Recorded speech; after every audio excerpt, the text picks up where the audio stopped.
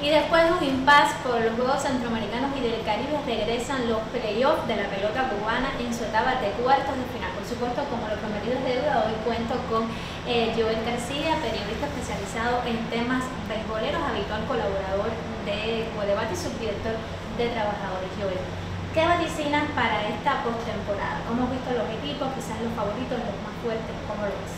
Bueno, primero, gracias nuevamente por la invitación. Hay que decir, Angélica, que son unos playoffs donde bueno, clasificaron los ocho primeros, de estos ocho, quizás de los equipos más sorpresivos, Artemisa y Camagüey, que eran de los que pocos dábamos dentro de los posibles clasificados a la postemporada, y también en un playoff donde tiene la característica de que se eliminó el concepto de repatriación para poder jugar en nuestros clásicos y cuatro peloteros, incluyeron dos en el equipo industrial, el caso más conocido de Yasmani Tomás y el lanzador Luis Javier Morales, está también Yaciel Toledo, Toledo de Santiago de Cuba y Rubí Silva en Matanza. También se incorporó Rafael Viñales, pero bueno, no era el caso de la repatriación.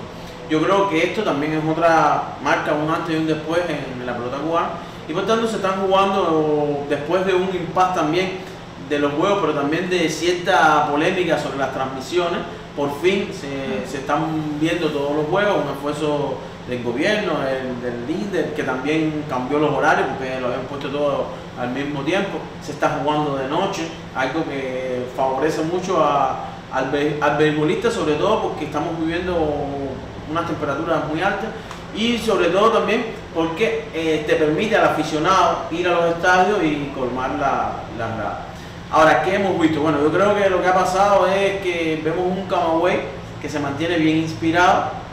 De ese playoff es quizás el, que puede resultar más parejo, al menos como, como lo veíamos mucho, pero me inclino por Camagüey.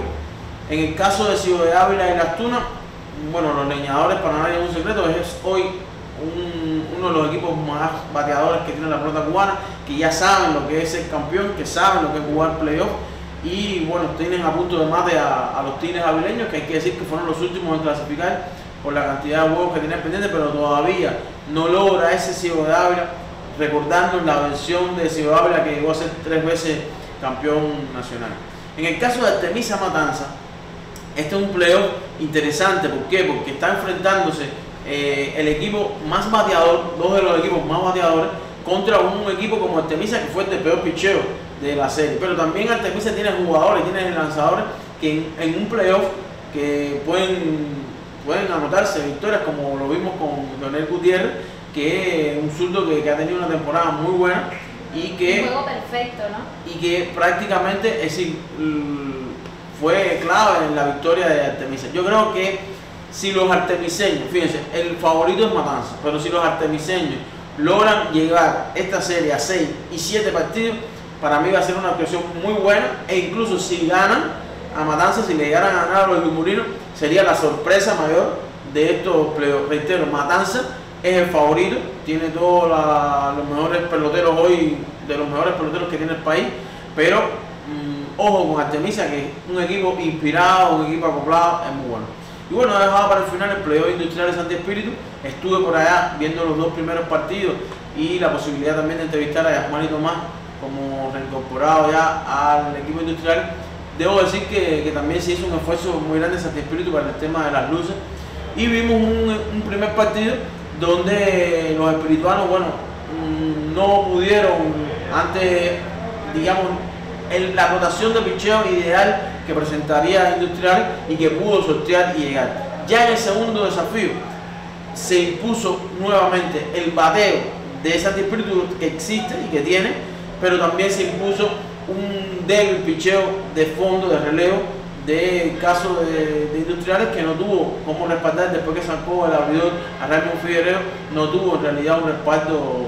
Este playoff debe, debe también regresar a Santa Espíritu y debe terminar en 6, 7 partidos. ¿Por qué? Porque si bien Industriales en estos momentos, con la entrada de Armani Tomás, con la entrada aquí en el Latino, jugar, etcétera, puede ser un plus también es verdad que no tiene una profundidad en sus lanzadores como para estar hablando en un playoff de no, tienen, no cuentan con Pavel Hernández, no cuentan con Michael Taylor, no cuentan con una serie Andy Barker que también se lesionó durante la temporada y por tanto el picheo azul va a estar también deteriorado. Y a favor de los gallos, hay que decir que una generación donde Cepeda, Mendoza, Barroso, Rodolesi Moreno, que estaba de cumpleaños, también se unen, otros muchachos jóvenes que vienen atrás y un picheo como Landare, como Yankee Mauri, como el surdo Niera, que también pueden también por supuesto en este playoff sale adelante o sale como favorito, como favorito industrial, pero tampoco se pueden descuidar los, los leones porque